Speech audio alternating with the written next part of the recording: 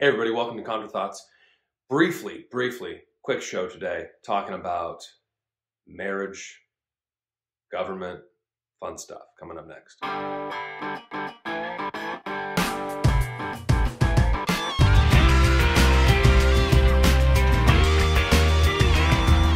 Hey, welcome to the show. Welcome, everybody. Uh, thanks for subbing. I've got quite a few new subs. I was on with Jason last night. Uh, Jason Whitaker there at Dear Woke Christian. Great conversation talking about politics in the church, especially the highly melanated church or black church for short, uh, and kind of this liberal trend that's been going on for a long time and why that's acceptable and not acceptable for others and so on. So it was a great conversation. It was actually, we streamed it both live on my channel as well as on his. Uh, so he's got a great channel. If you don't know him, you probably do, but if you don't, check it out uh, for sure. And welcome those who did sub. Thank you again for that.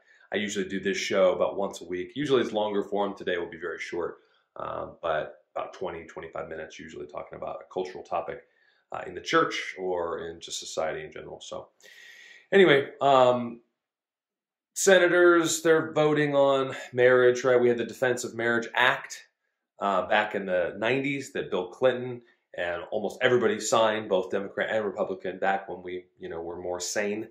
And that was between a man and a woman. It was Defense of Marriage Act. That's what it was. Well, of course, the Obergefell decision in 2015 kind of changed that. That forced same-sex marriage down the throat. Um, but in 2008, Obama, who candidated, of course, with Joe Biden, who's now president, um, he was against same-sex marriage. Hillary Clinton, Biden, everybody was.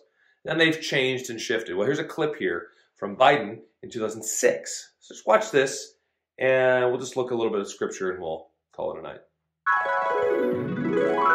We are desperately concerned about the circumstance relating to uh, avian flu. We don't have enough vaccines. We don't have enough police officers. And we're going to debate the next three weeks, I'm told, gay marriage, a flag amendment, and God only knows what else. I can't believe the American people can't see through this. We already have a law the Defense of Marriage Act. We've all voted, not where I voted and others said, look, marriage is between a man and a woman, and states must respect that. Nobody's violated that law. There's been no challenge to that law. Why do we need a constitutional amendment? Marriage is between a man and a woman. What's the game going on here?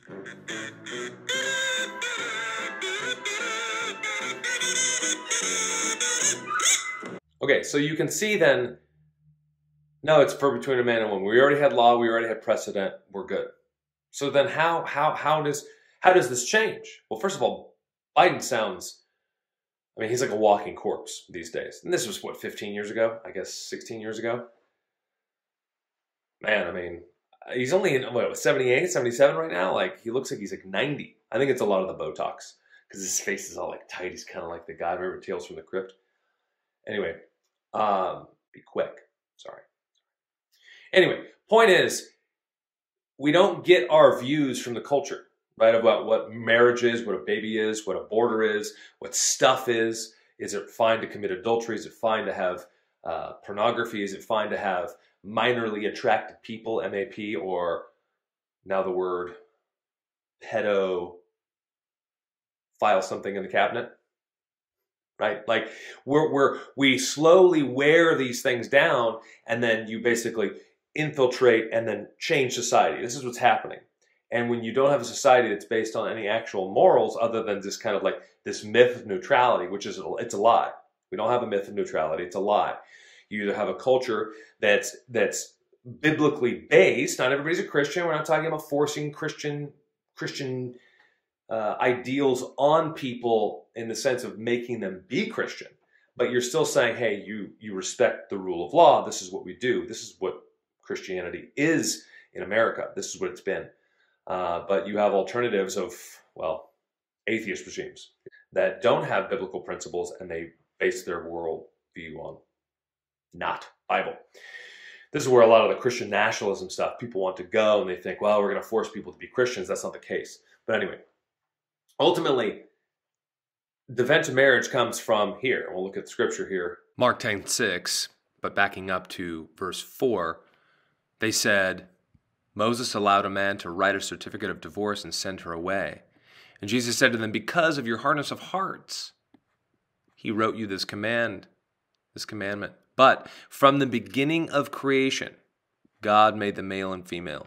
Therefore, a man shall leave his father and mother and hold fast to his wife, and the two shall become one flesh. They are no longer two, but one flesh. What therefore God joined together, let no man separate. The point is that Jesus is affirming Genesis 2. Jesus is affirming this and saying not only that God made, God created, this is where atheistic evolutionary nonsense is indeed nonsense. It pushes against God's created order, pushes against reality. We see a building, we understand there's a builder. We see a painting, we understand there's a painter. We see a creation, we know there's a creator. God made the male and female from the beginning. This is also restated in Matthew as well. Jesus is defending marriage. This is where it comes from. Man shall leave his father and mother, hold fast to his wife. They should become one flesh. Wherefore God has joined together. This isn't just about divorce. This is about so many other things, including the gender confusion of our age and our misunderstanding or disrespect of marriage that we're now seeing and have been seeing for decades. But it started with divorce years ago. And now we have same sex marriage full on display. But why not three men and a woman or a woman and a boy? Why not a horse and a woman? Why not a dog and a man? Why not a blow up doll? Why not three people of age? I mean, it's never ending. God made the male and female from the beginning. That's it. Marriage is between a man and a woman for life, covenant marriage. That's all. A familiar passage, I'm sure, but Christ determines marriage, right? Because he's God in the flesh. He's God adding humanity to himself, taking the form of a bondservant, being found in the likeness of men. So he became obedient to the point of death, even death on the cross, the most wicked type of death for sinners.